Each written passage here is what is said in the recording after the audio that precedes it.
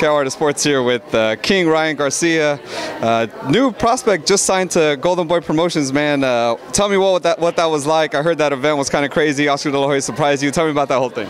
It was amazing. Oscar, I was giving a speech to some kids that were uh, needed some motivation, some hope, and Oscar De La Hoya. I turned I turned to the side of me and I seen Oscar, and he he showed me the contract, and it was an amazing feeling. I was super surprised, and it was just great, great.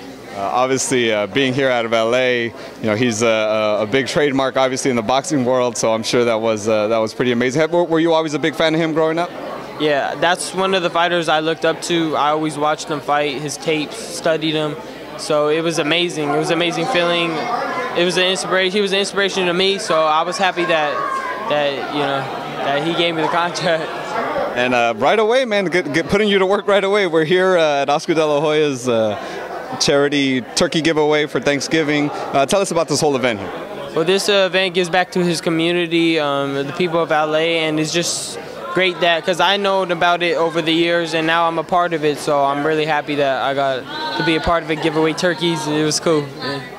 Definitely uh, putting your work too in the ring. Obviously, it got you uh, December 17th already, man. Uh, you know your opponent. What, what's the, the give us the details on it? Yeah, my opponent is his last name I know for sure is Martinez. I don't know his first name though, but uh, I know he's he has six wins with five KOs, so he has some power uh, behind him. But I'm ready for the challenge. I've been training hard. You yourself are six and zero, oh, is it? With with five knockouts, correct? Yeah, yeah. Tell me, man, when what is it like when you catch someone with that right on the sweet spot with that KO punch? What, what what's that feeling like?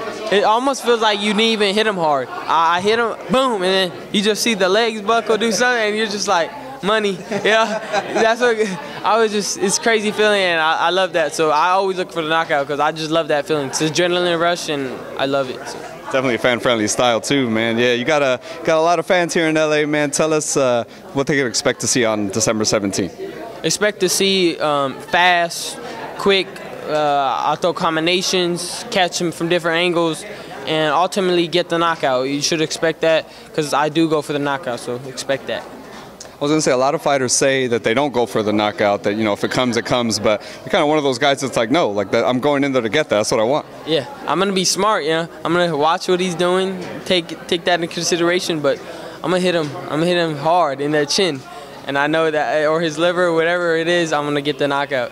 You don't get paid for overtime, right? Yeah, you don't get paid for overtime, but you know you, you can knock them out in the first round and get the same paycheck. So why not? Definitely, man. Tell uh, tell the fans uh, where they could follow you on social media, Instagram, Facebook, all that. Follow me on Instagram at King Ryan G, and also um, catch me on Facebook on official King Ryan.